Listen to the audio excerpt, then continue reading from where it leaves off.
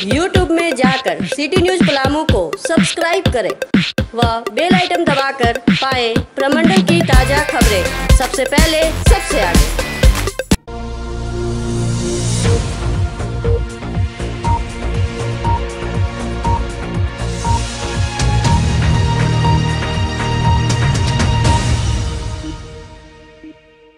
बॉलीवुड अभिनेता अर्जुन रामपाल फ़िल्म नास्तिक में शूटिंग करने जैसे ही डाल्टनगंज रेलवे स्टेशन पर उतरे, लोगों की भीड़ उमड़ पड़ी।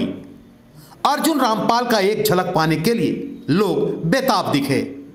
भीड़ का काफिला इस कदर रेलवे स्टेशन पर उमड़ पड़ी कि भीड़ को नियंत्रित करने के लिए पुलिस को काफ़ी मशक्कत करनी पड़ी। इस दौरान अभिनेता अर्जुन रामपाल ने भी अपने दर्शकों का अभिवादन हाथ उठाकर किया। वह अपने मोबाइल के कैमरे में दर्शकों को भी कैद किया। इस दौरान दर्शक अर्जुन अर्जुन के नारे लगा रहे थे।